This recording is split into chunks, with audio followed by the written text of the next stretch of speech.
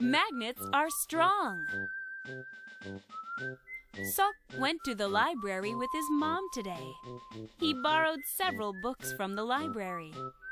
As soon as he got home, he opened one of the books. He liked the title of the book. He looked at a picture of a magnet shaped like a stick. There were many things stuck to it. The picture made Sok curious. That looks fun. I want to do that too. Sok asked his mom to give him a magnet. So his mom gave him a bottle opener stuck to the freezer. There was a magnet attached to the other side of the bottle opener. Don't fool around with it, understand? However, this magnet was not the same one from the book, but it was enough. This magnet was strong too.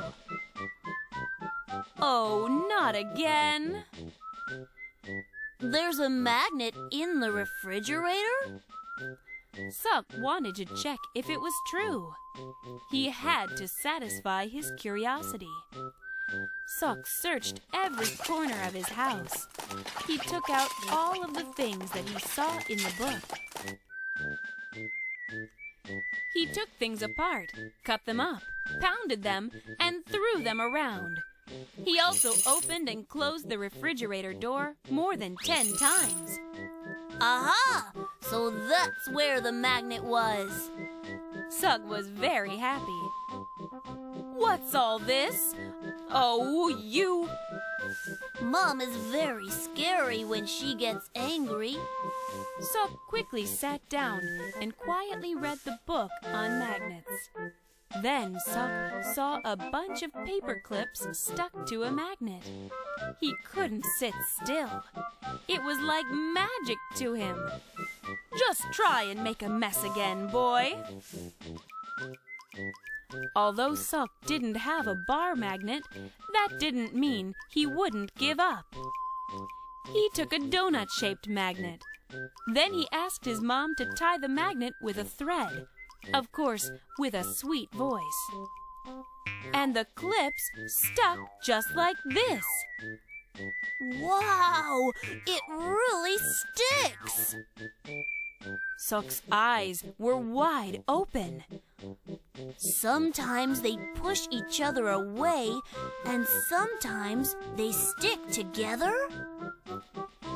How can he be sure without trying it himself? But there were no bar magnets at home. So he...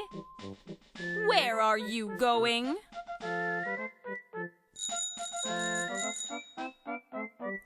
Gosh, you're impossible! Magnets were really strong. When it's different colors, it would pull toward one another. When it's the same color, it would push away from each other. What in the world is he doing? Oh, little troublemaker. Sok got a great idea. Magnets are very powerful and useful. Mom, this is for you. Did you make it yourself? This is great!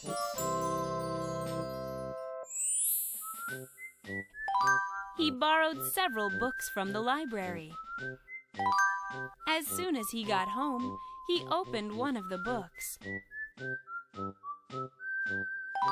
He looked at a picture of a magnet shaped like a stick. There was a magnet attached to the other side of the bottle opener.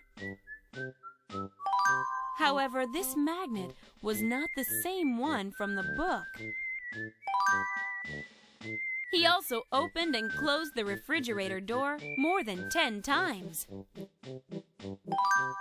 Mom is very scary when she gets angry.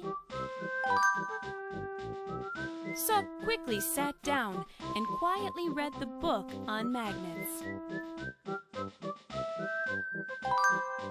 Then he asked his mom to tie the magnet with a thread. Of course, with a sweet voice. Sometimes they push each other away, and sometimes they stick together. When it's different colors, it would pull toward one another. When it's the same color, it would push away from each other.